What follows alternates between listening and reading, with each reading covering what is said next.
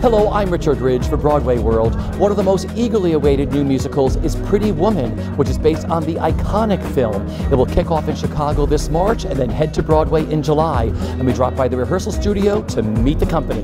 Well, first of all, welcome back to Broadway. Thank you. And welcome to Broadway. How exciting is this? So exciting, can't believe it. You know, we, we all know and love the script, and so to have that as a starting point for a musical is like is, is incredibly lucky, and then to add obviously Bryan Adams' songs in, it's, it's just amazing. And he's there in the room working with you, which is again surreal. It's like, oh, it's Bryan Adams, amazing, and yeah, I think the whole every time an extra piece gets added on, it's it's so exciting. We just saw some sketches of costumes and things like that, and such an amazing team that every time another thing is thrown into the pot, it just it used you you have that moment all over again. She came in and she sang Bryan's songs, and I literally didn't know where her voice started and where it stopped. It's just an effortless voice, and her beauty and her charm, uh, and it was just perfect. To be able to do this movie, which was a, a, a, favorite of mine growing up, and make it into something new, to make it into this musical and, and help bring it to a new audience was like my second favorite thing. And then knowing that I was going to get to work with this lovely creature is my third favorite thing. and they just keep going. I mean, I have to say, I've done a few Broadway shows now, um, and this is I mean, I, everyone always says this, but when we did the the workshop together, it was the most fun I've had. Just I just had fun.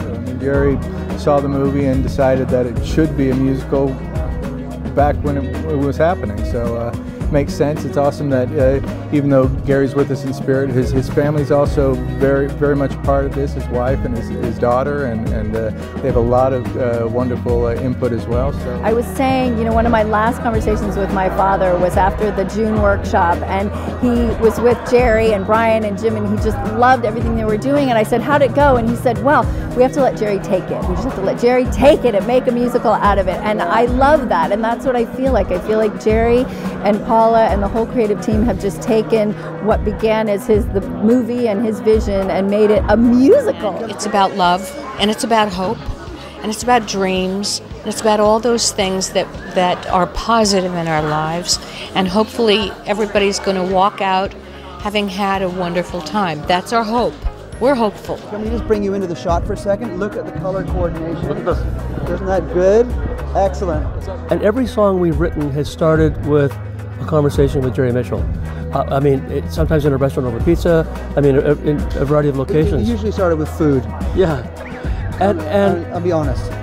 And, and, Jerry's vision is is so clear in his head, and his ability to articulate and convey that. So we'd come away from a meeting and literally go back to our hotel or wherever we were and, and write a song. Score, brand new score written by Bryan and Jim. We get crazy every time anyone mentions that because you just kind of like, they're so unassuming and cool and amazing and friends, you know, they're friends of ours, you know, we consider them friends, you know, and you just go, oh, wait a minute, I'm, I'm singing Bryan Adams songs. It's insane, yeah. The music is the big surprise, and then and then these singers are so Samantha and Steve are incredible singers. Jason and Orfeh, amazing. And to see these characters to finally be able to hear their thoughts is is so it just fills out the story so much.